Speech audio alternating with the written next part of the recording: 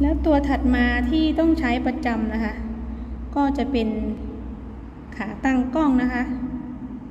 ยี่ห้อนี้ค่ะ ยี่ห้อนี้ดีค่ะ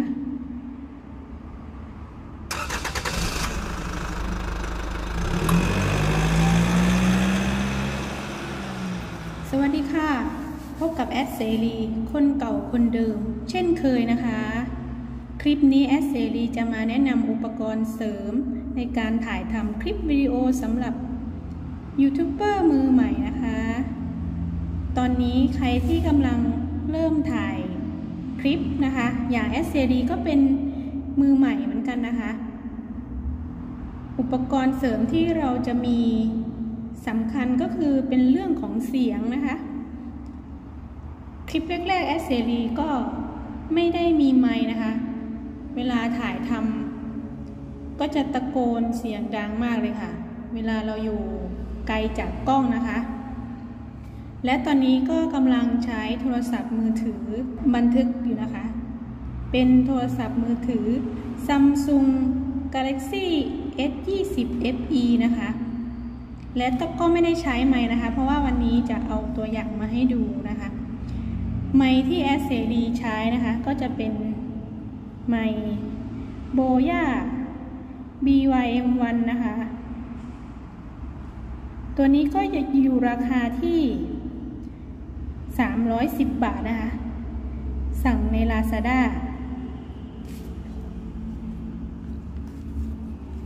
ช่วงแรก ๆ เราก็อย่าเพิ่งไปลงทุนอะไรเยอะมากนะคะ เผื่อเราเบื่อ อาจจะทิ้งไปเลยก็ได้ค่ะ เราก็ซื้อที่พอจะ ใช้งานได้มาก่อน ข้างในก็จะเป็นแบบนี้นะคะ อันนี้เป็นไม้ติดปกเสื้อนะคะที่แอสเซรีใช้อยู่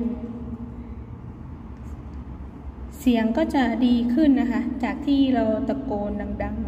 ๆ ตอนที่ยังไม่มีไม้นะคะ ก็จะเป็นแบบนี้นะคะ มี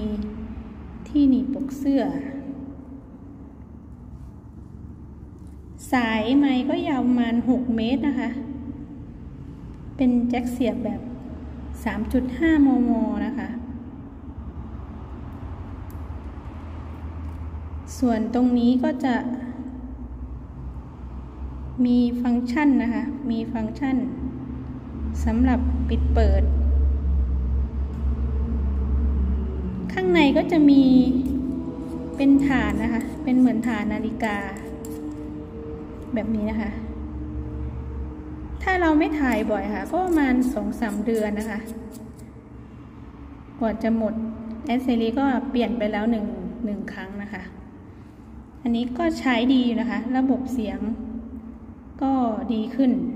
แต่ว่าอาการตัดเสียงรบกวนก็ยังไม่โอเคเท่าไหร่นะคะ เดี๋ยวเราค่อยพัฒนาไปเรื่อย ๆ นะคะสำหรับอุปกรณ์ แล้วส่วนโทรศัพท์นะคะ ที่แอสเซรีใช้อยู่ มันจะเป็น Type C แบบนี้ค่ะ ไม่สามารถเสียบแบบนี้ได้เนาะเราก็ต้องมีอะแดปเตอร์เป็น USB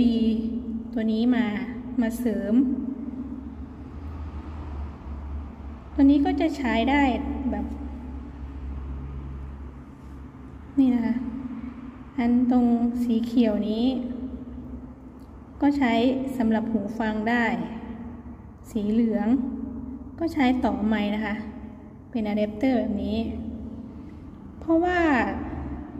Android ทุกวันเนี่ยค่ะเขาไม่มีมีรู3.5มมมาให้เนาะ มันไม่สามารถเสียบตรงได้เลย เราก็ต้องมาใช้ตัวนี้เป็นอะแดปเตอร์แบบนี้ค่ะ ถึงจะเสียบใส่โทรศัพท์เราได้ ก็ต้องยุ่งยากนิดนึงค่ะ แต่ว่าก็ใช้ได้ แล้วเวลาเราจะตัดต่อคลิปนะคะ ก็สามารถใช้หูฟังแบบนี้ มาเสียบ ต่อกับตัวนี้ได้ด้วยเหมือนกัน อันนี้ใช้งานได้นะคะ แบบนี้เนาะตัวนี้ใช้งานได้ดีค่ะ ราคาก็อยู่ที่ 154 บาทนะคะ เป็นอะแดปเตอร์ เสียบได้ทั้งหูฟังและไมค์นะคะ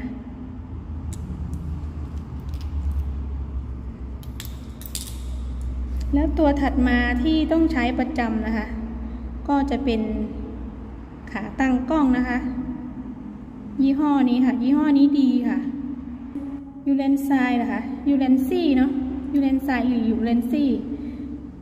ถ้าแอสเซรีออกเสียงผิดก็ขออภัยด้วยนะคะ สามารถดึง ดึงได้ ถ้าสมมติว่าเราจะเซลฟี่นะ มันก็สามารถปรับตัวนี้ได้นะคะสามารถกางออกได้นะคะ ถ้าเราไปกินข้าว ตามร้านอาหารนี้เนาะเราก็ตั้งไว้ก็ได้ค่ะ หรือแอสเซรีก็ใช้ตั้งกับพื้นแล้วก็ปลูกผักค่ะ ปลูกผักไป แล้วก็เอาตัวนี้เป็นตัวตั้งนะคะ ก็ปรับเอาตามขนาด ส่วนตัวนี้เป็นตัวล็อกโทรศัพท์ วัสดุแข็งแรงทนทานมากเลยนะคะ ใช้ดีค่ะ เป็นตัวล็อกแล้วก็จะมี กันกระแทกเนี่ยค่ะ ถือว่าโอเคค่ะ ทั้งหมดนี้นะคะแอสเซรีก็สั่งใน Lazada เนาะเดี๋ยวจะลงตัวอย่างให้ดูนะคะ ว่าเป็นหน้าตายังไงที่ที่ส่งที่สั่งมาเนาะอันนี้ก็จะใช้แบบนี้นะคะ เป็นตัวล็อกโทรศัพท์แบบนี้นะ หรือว่าถ้าเป็นแนวตั้งก็ได้ค่ะ เพราะว่านนี้จะดีนิด ถ้าเป็นแนวตั้งเราก็หมุน อันนี้จะใช้คู่กันนะคะ ใช้คู่กันแบบนี้เนาะ อันนี้เซรีก็สั่งชุดนี้มา ร้านเดียวกัน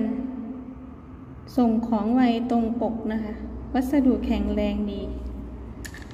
นี่นะคะ แล้วก็หมุนแบบนี้เลย เวลาเราใช้ นี่ก็จะเป็น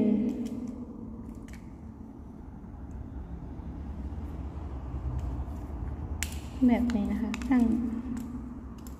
ตั้งได้ เนี่ยค่ะ ก็ใส่โทรศัพท์ อันนี้สามารถปรับได้ คือถ้าเป็นโทรศัพท์ใหญ่หรือเล็กก็ได้นะคะ คงทนแข็งแรงนี้นะคะ อย่างนี้นะถ้าเราจะไปเซลฟี่เราก็สามารถดึงออกมาได้นะคะ แล้วก็ปรับ ปรับได้แบบนี้ค่ะ นี่นะแล้วก็เดินถ่ายไป สะดวก ในราคาย่อมเยานะคะไอตัวล็อกนี้ก็อยู่อยู่ที่ 275 บาทนะคะ ขาตั้งกล้องตัวนี้ 263 บาทนะคะ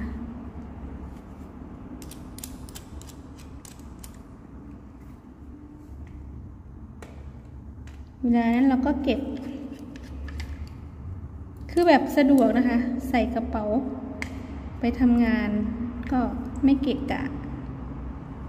นี่นะคะ ตัวนี้สำคัญมากเลยค่ะสำหรับไทซีเพราะว่าเราไม่มีรูเสียบเหมือนโทรศัพท์รุ่นก่อนๆนนะคะ เราต้องมีตัวนี้ ถ้าไม่มีตัวนี้ก็ จะมีไมเป็นแบบไทซีเหมือนกันนะคะทำไมแอสเซรีถึงไม่เอาไทซีที่เป็นเป็นไม้ตัวนี้มา เพราะว่าสายมันสั้นค่ะประมาณ สองเมตรมั้งคะมันไม่สะดวกเนาะเวลาเราไปยืนอยู่ไกลๆเนี่ยค่ะ ทั้งหมดนี้ก็อยู่ที่ประมาณหนึ่งพันสองบาทนะคะที่แอสเซรีได้ซื้ออุปกรณ์เสริมมา มีอุปกรณ์เสริมเพียงเท่านี้เราก็ค่อยๆพัฒนาไปนะคะสำหรับมือใหม่อย่างเรา ตอนนี้เสรีก็ยังไม่ได้ผ่านกด YouTube เลยนะคะ ผู้ติดตามยังไม่ถึง 1,000 คนแล้วก็การรับชมยังไม่ถึง 4,000 ชั่วโมงนะคะ ก็จะตั้งใจทำไปเรื่อยๆค่ะ ก็ขอให้กำลังใจมือใหม่ด้วยกัน แล้วก็ผู้ที่กำลังจะทำคลิปนะคะ ก็เริ่มทำเลยค่ะ เรามีอุปกรณ์อะไรเราก็ทำไปก่อน แล้วค่อยหาซื้อมา เสริมมาเพิ่มเรื่อยๆนะคะ ถ้าใครชอบคลิปนี้ก็อย่าลืมกดไลค์ กดแชร์ กดติดตาม